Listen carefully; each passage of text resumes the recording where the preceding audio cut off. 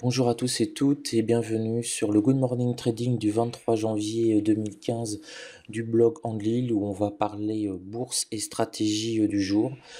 Euh, donc excusez-moi pour le retard pour ce Good Morning Trading qui a une heure et demie de retard. Petit problème d'encodage, mais j'ai donné mes niveaux en direct sur Boursorama à 9h, donc vous pourrez aller les vérifier. Je vais vous redire ce que j'ai dit déjà depuis quatrième fois parce que c'est la cinquième euh, prise et je commence à en avoir marre donc je vais y faire plus court. Euh, donc le calendrier boursier du jour, on a trois temps forts. Aujourd'hui 9h30 le PMI allemand, 10h le PMI européen et le troisième temps fort à 16h, les ventes de logements anciens aux États-Unis et l'indice du Conference Board. Bon, ça c'est parce que euh, je l'aime bien. Mais trois temps forts, 9h30, 10h et 16h. Donc ça risque de pas mal bouger. Alors l'analyse et les points pour trader. Donc depuis qu'on a le QE hier, on est euh, sur un petit nuage. Alors ce QE, c'est une injection de 2 milliards euh, d'euros par la BCE indirectement dans les marchés financiers puisqu'elle va racheter pour 2 milliards d'euros de dettes entre guillemets aux assurances, aux banques, etc. en prenant le pari que ces 2 milliards que vont récupérer en cash en fait les, ces institutions, elles vont les remettre ou dans l'économie réelle ou sur les marchés financiers, ce qui a de fortes chances d'être le cas, puisqu'on gagne plus d'argent sur les marchés financiers qu'à investir dans l'économie réel si on regarde les bilans des banques. Donc on a 2 milliards finalement de, de boost et d'adrénaline et de shoot de ligne de coke euh, possible chaque jour euh, sur les marchés. Et l'espoir donc c'est de faire même pas repartir réellement l'économie, mais du moins refaire repartir l'inflation. Euh, parce que le grand traumatisme de la, de la BCE, c'est que l'on rentre euh, en déflation, donc c'est-à-dire une baisse des prix euh, généralisée, parce que ça nous fait un cycle entre guillemets infernal, hein, un cycle anti-keynésien, destructeur d'emplois. Bon, ça on est à peu près habitué. Le plein emploi c'est terminé, on le sait. Pardon.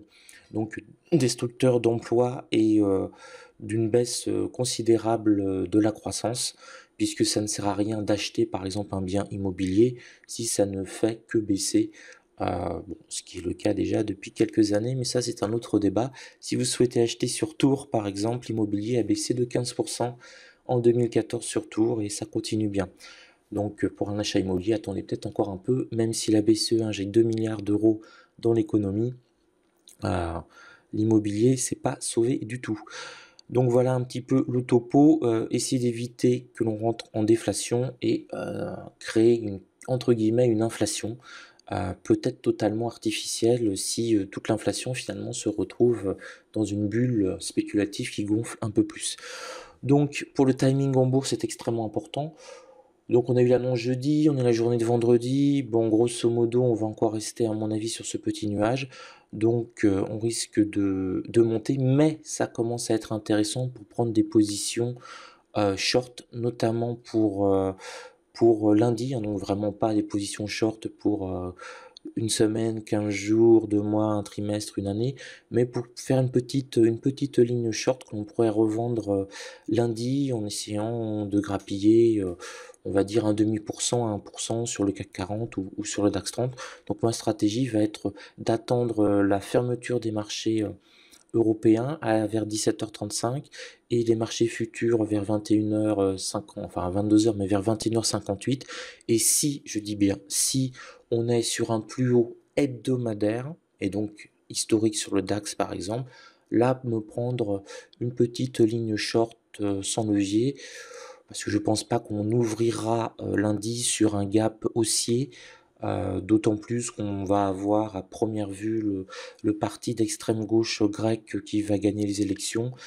Sur le dernier sondage ce matin du vendredi, ils ont 6 points d'avance. Donc peut-être petite zone d'indécision, de doute, et on pourrait peut-être perdre, si on finit sur des plus hauts hebdomadaires, 1,5%, 1% dès le lundi matin, donc des points rapides à prendre. Et puis si on ouvre sur un gap haussier, étant donné que c'est une position qui est euh, idéalement même en sous-levier, ce sera pas bien compliqué pour revenir la sortir flat dans la semaine. Donc c'est un petit peu la stratégie, c'est pour ça que, je vous ai mis les, points pivots mensuels, donc sur le DAX. Hein. on voit qu'on a une...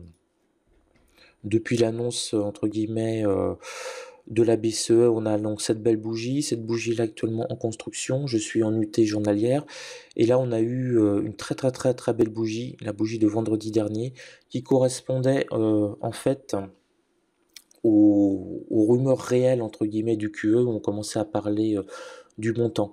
Donc on commence à être sur la résistance 2 journalière, donc si on clôture légèrement au-dessus de cette résistance 2 journalière, comme, comme, comme je vous le dis, vendredi soir. Ça pourrait être intéressant. Euh, bon, je sais pas, on sera peut-être éventuellement à 10 600 ou 10 650.